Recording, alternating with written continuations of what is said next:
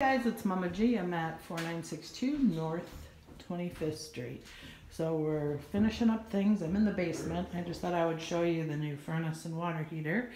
Um, if you remember, we had the big old octopus furnace in here that took up about this whole area where I'm standing. And it's gone.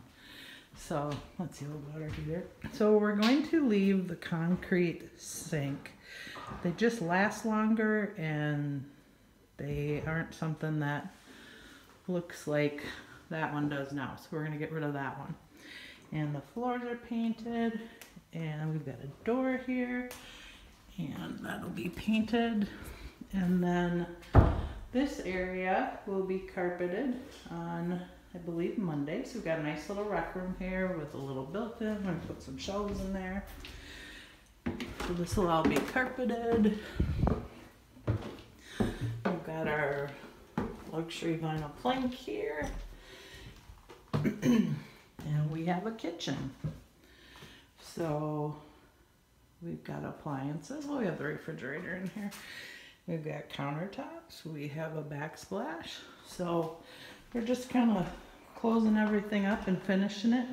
We'll be putting blinds in and getting it all ready for a tenant here.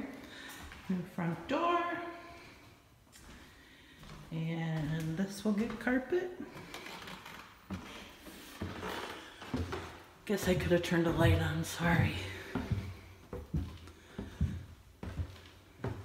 So this hall area up here will all have carpet. And then we've got the plank in the bedrooms. So, looks really good, really turned out nice. It's gonna be a nice rental. Really nice rental. We've got a new door here to the little balcony. We've got flooring in here. And we are just about done, guys. A few more days and we're out of here. All right, Mama G signing off.